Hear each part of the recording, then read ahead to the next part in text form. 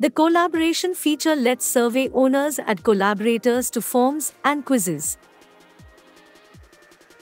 After you create a new form, click on the three vertical dots and choose the collaboration option.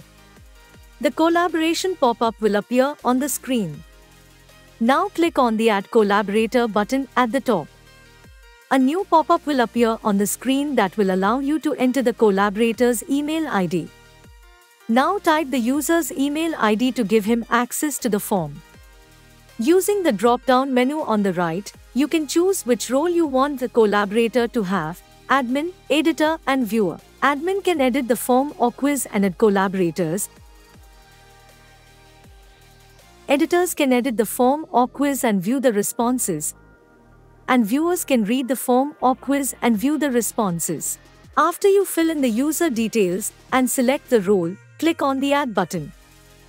Now you can see the newly added user in the collaborator list. To quickly change the access of the user, simply click on the right drop-down option and select the access type. You can delete the user by clicking on the Delete button. Collaborators can also be managed from within the form or quiz settings.